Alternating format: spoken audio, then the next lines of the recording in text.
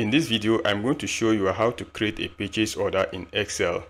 And this is exactly what you will achieve by the end of this tutorial. Now, I already have some dummy products, that is product code, description, and then unit.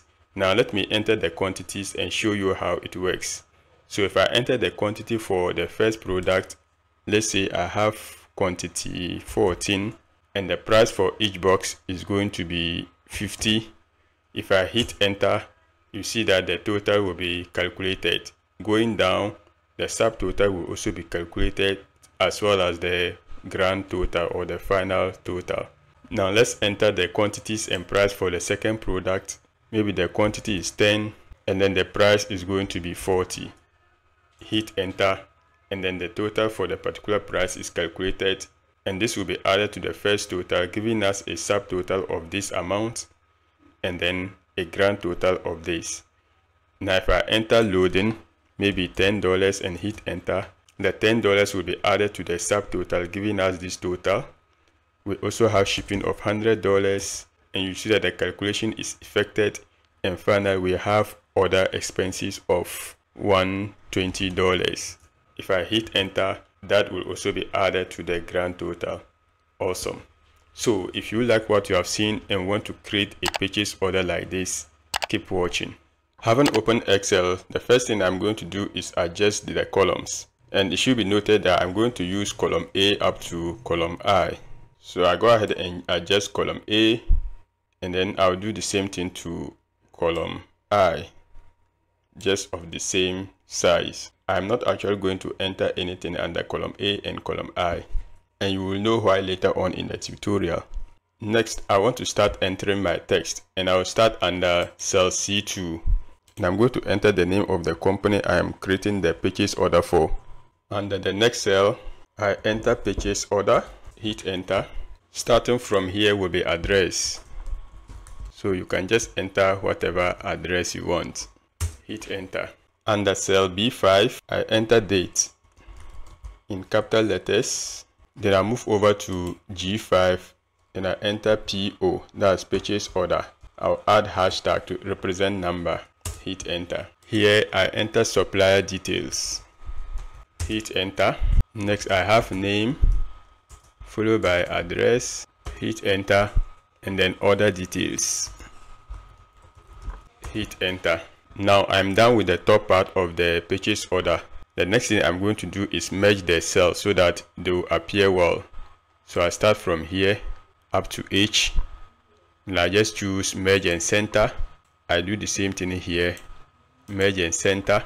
Address I'll just merge it. It's not going to be centered. So it's just going to be merge across. Here is going to be where I enter the actual date. So I'll just merge the whole of this even though I'm not going to enter anything there and this is where the purchase order number will be placed. Supply details is also going to be merged across. Name, take note the name is not going to be highlighted.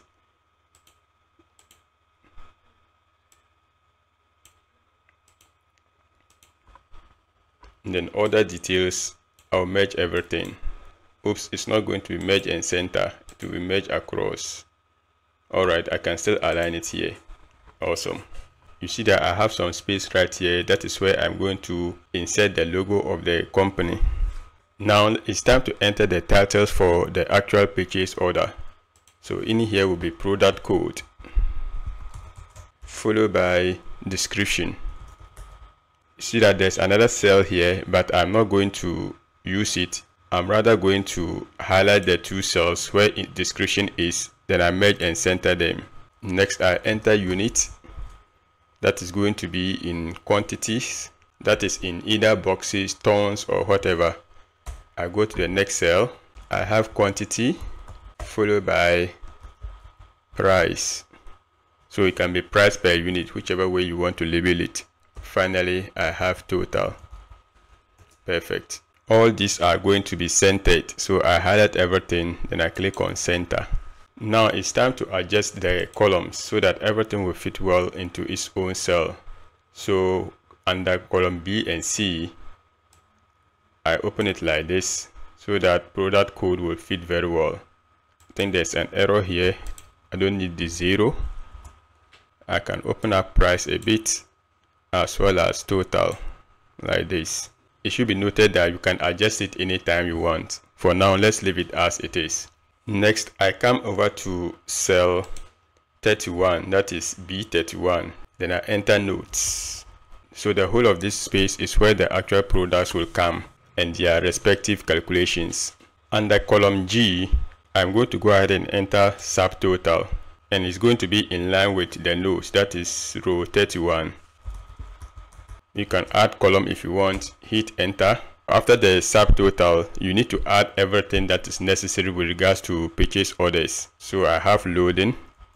You can also add shipping and maybe other expenses. Then we now have the total. Perfect. Coming back in here you need to enter some contact information.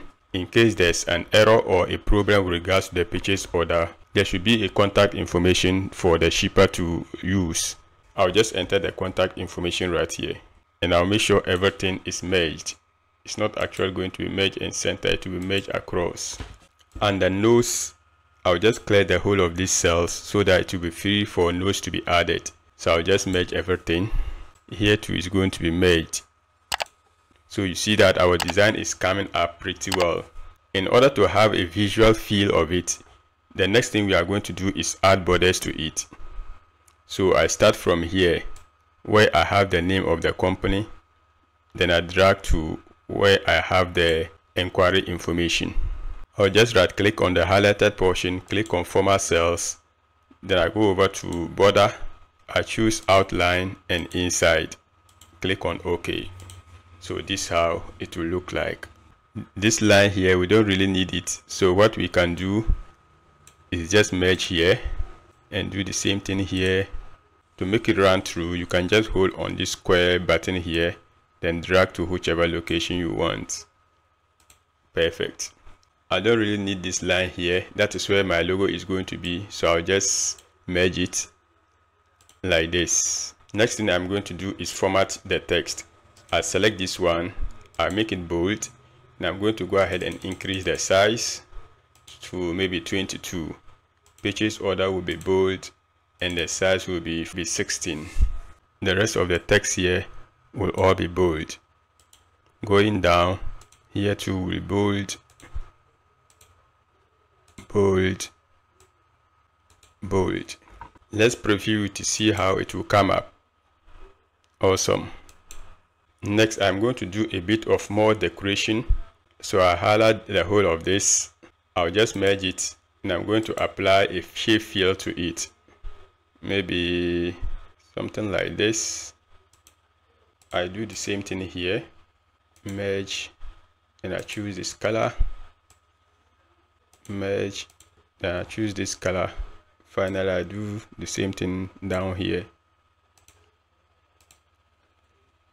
Let's take a look. Perfect. Going back similarly i can fill the inside with some colors so that there will be some kind of variations i'll select the whole of this up to details or maybe i include the heading. I go to shape fill i'll use this color or maybe this. And then the font color i'm going to change it to white so that it will stand out. In here is going to be a different shading of color.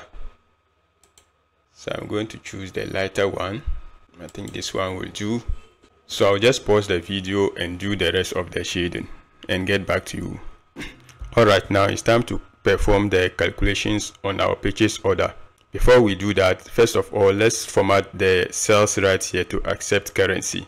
At the moment, if I enter any amount, maybe 500.00, if I hit enter, the 0.00 will go off, which means that our cell is not being formatted to accept currency.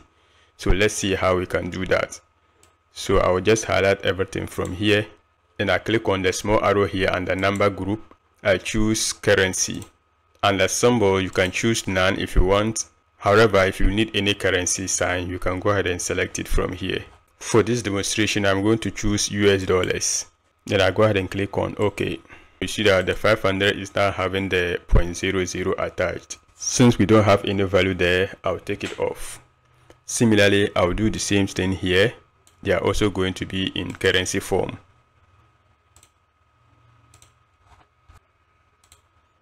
Okay, now let's perform the calculations. So in order to get the total, we are going to multiply the quantity by the unit price. So to get the answer here, first thing I do is press equal sign. Then I click on the cell and the quantity that is the first cell.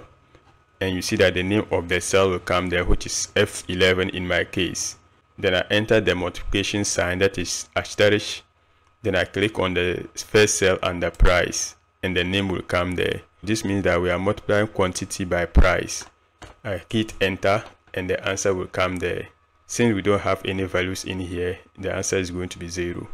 Similarly, we do the same thing for the rest of the cells, but if we are going to repeat them, it will be time consuming. So what I do is click on the cell where we have already calculated, then I hover on this small icon right here, I drag to the end. Take note, it's not going to affect where we have subtotal. So I released. Now to get subtotal, we are going to add the whole of these. And the cells we are going to add together are still highlighted as you can see. So simply go ahead and click on auto sum and the answer will come right under the whole of these figures and it will also fall under subtotal. So I can click on it and make sure it is bold all of these can be bold because they are all going to be affected. So at the moment loading 2 is 0 we can simply enter it. Shipping is 0 orders will also be 0 and then our total will be starting from subtotal up to orders. So what we do is we use the same formula. Just highlight the four figures then go ahead and click on auto sum. Perfect I want to increase the size of the total a bit by making it 12 or 14 so that it will stand out. Now let's enter some products we want to order. So the product code, let's say we have XYZ 123.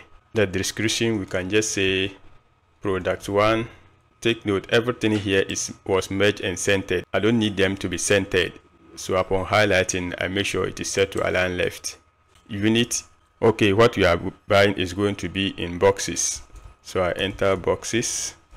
The quantity is going to be 12 and the price for a box is going to be 40 now you see that all what i'm doing the calculations are not being run.